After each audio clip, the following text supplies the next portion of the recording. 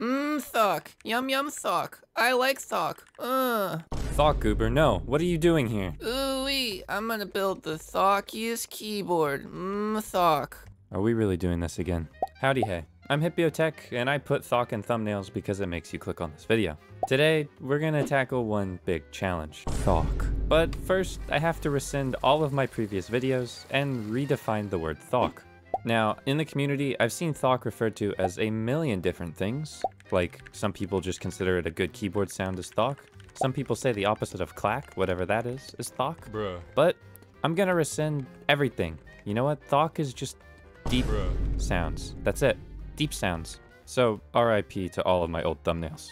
You know what makes deep sounds? Electrocapacitive keyboards. Yeah, not mechanical keyboards. We're revolutionizing everything. By revolutionizing everything, I mean this has already been the case forever like Thok was invented to describe Topre boards. Maybe, don't quote me on that. But in this video, I'm gonna set out to build the new Thokiest keyboard. By Thok, we mean deep. Remember that, keep that in the back of your mind. Granted, deep is just as subjective as Thok, so this is, yeah, this is a hopeless pursuit. But in this video, I'm also gonna set out to build my dream keyboard, which it is not this. Look at that spacebar. I'm gonna be lubing some electrocapacitive switches, which I've never done before, and then Frankensteining a keyboard together. It's gonna be really bad. Disclaimer, I might go insane. But I'll be doing this in the quest to build my dream keyboard, and I'll talk about that a little bit more later. Now you're probably thinking, Hipyo, why is your dream keyboard plastic? This is ridiculous. You could have any $1,000 keyboard, you're a keyboard YouTuber. We'll get into that right after you get into the subscribe button. Thank you so much. So in my time, I've tried literally almost 100 keyboards. And at the end of that, I always kept coming back to this dinky little thing, the Niz Plum X87. There's something about its light, pillowy switches that just kept drawing me to it, no matter what else I tried. Full disclosure, I have not tried Topre yet, but I want to. This has honestly solidified a spot in my daily driver rotation, like as the main daily driver. But there's just one problem, and it's that it's a little bit too big. I need a smaller size. So this is where the Niz Micro 84 enters the story. This was sent to me for free by Epomaker, and you can check it out via the link down in the description. Now, in any normal story, I would get this keyboard, it would solve my size issue, and it would be a perfect, happy little Hipyo, new daily driver, blah blah blah. But as you can see, this video is disturbingly long, and there's much more to the story. I'm on a quest to build one of the Thokiest keyboards. Well, remember what we said at the beginning? Mmm, Thok. Yum yum Thok. No, not that part, the, the deep part. Anyways, this bad boy is 224 US dollars, which is one pretty penny.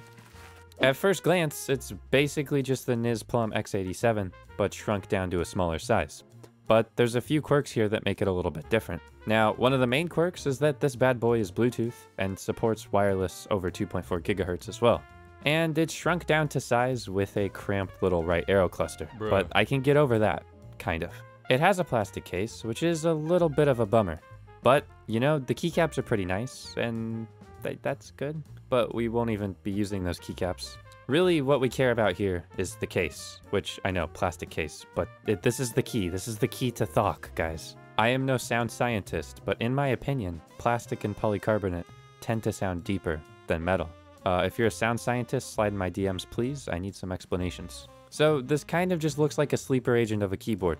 The type of thing where you'd see it on somebody's desk and be like, ah, that must be a $12 thing from Walmart.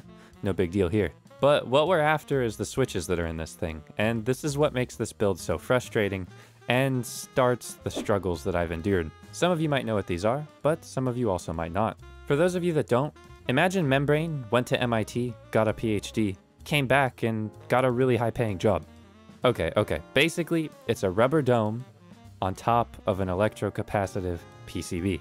It uses a spring and a slider, it has a very nice tactility, and it's very punchy. Speaking of punchy, when I saw the spacebar, I wanted to punch the wall. Now, this is where all of my problems begin. This is a 4U spacebar that I did not realize was on this keyboard.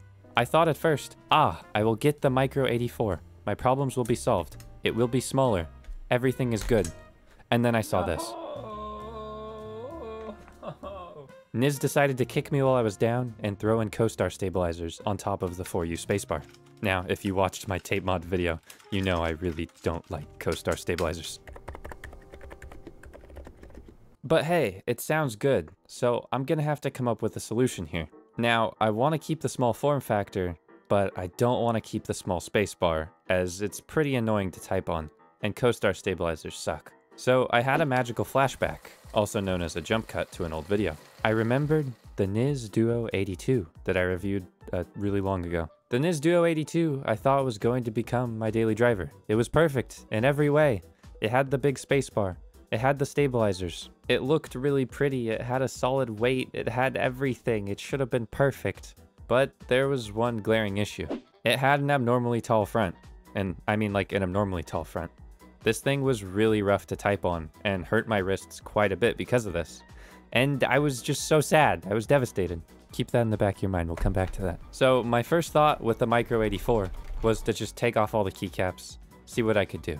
And then it kind of hit me that I don't own a single keycap set with a 4U spacebar. There was literally no way I could mod this thing and swap out keycaps to keycaps that I would like. Now, because of this, there's no way it can have a place in my Hall of Fame or, or be my daily driver. But I had an idea. An idea I thought would be so simple. I thought, oh, the Niz Duo 82, it has a PCB, it's electrocapacitive, it's 75%, it's got the same form factor. I'm just gonna copy paste into the other case. It's gonna be easy. yeah, that's not foreshadowing or anything. So Bruh. here's my brilliant plan laid out. Take the Niz Duo's PCB, put it in the Micro 84. Done. That will solve all my issues. I like the case of the 84, but I don't like the case of the 82. I like the PCB of the 82, but not the case of the 84. But then wait, what's this? Hipyo wasn't thinking? that never happens. Oh, right. So the one part that wasn't interchangeable was the plates. I could not put the plate of the 84 on the 82. Different stabilizers. Duh, why didn't you think of this? And it doesn't fit in the case because of these little tabs. Of the tabs. No, why didn't you think of the tabs? So I panicked. I got devastated. I was ready to give up. And then I had a better idea. Toby, I need help. Toby, help. My God, Hipyo, are you okay? Are you dying? Uh, kind of. Yeah, my my plate won't fit in my keyboard.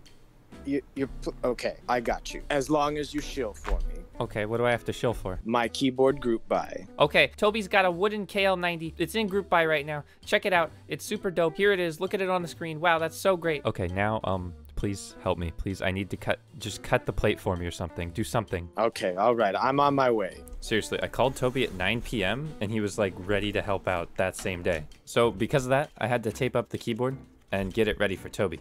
Now, I could have just popped these out, but I was much too lazy. So I just taped it up so it wouldn't get anything in it while he cut it. Because Toby did this for me at 9 p.m., I don't have any footage of it, but just imagine a footage of Toby cutting it with some type of power tool.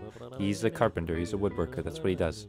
Then, with my special delivery from Toby, ta-da, it's a plate with no tabs. Originally I thought this was a stainless steel plate, but realized it was a brass plate after he cut it, and it was brass colored. Oops. It would probably have more thock if it was uh, polycarbonate. This, this just hurts to say even. But as you can see, there's a little bit of warp here around the spacebar. Apparently the saw kind of got stuck and like, I don't know how saws work. So there's a ton of warp around the spacebar stabilizer. I don't know if this will cause any issues, but we'll revisit that soon.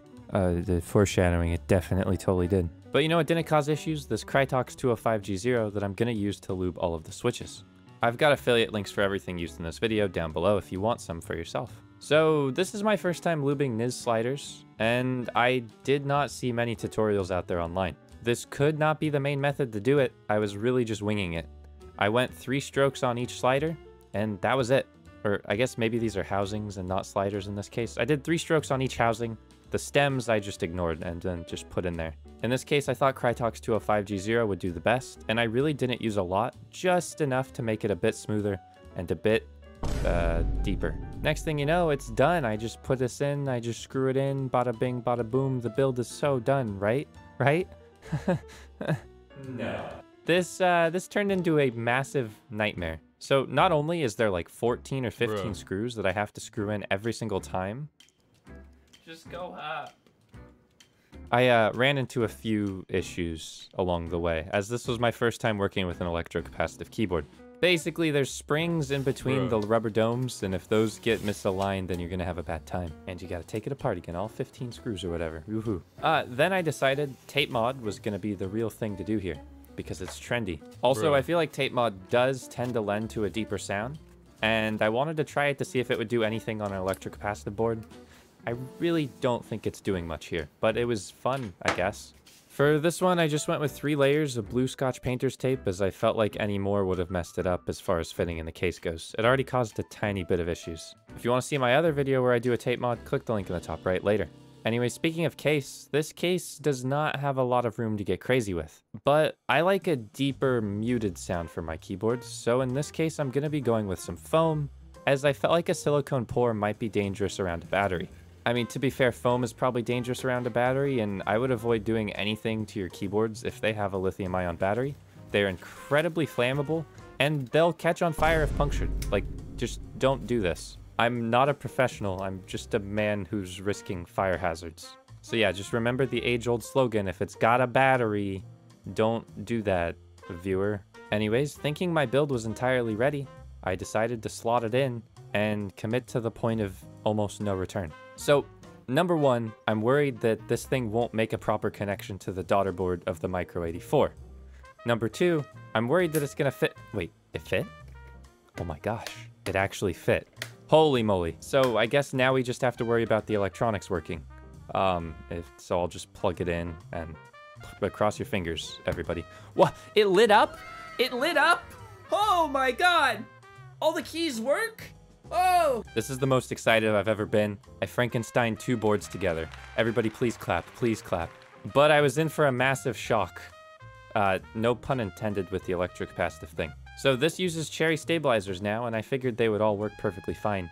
But an issue was about to happen with the spacebar stabilizer that arose from the warp. So much warp, oh my gosh.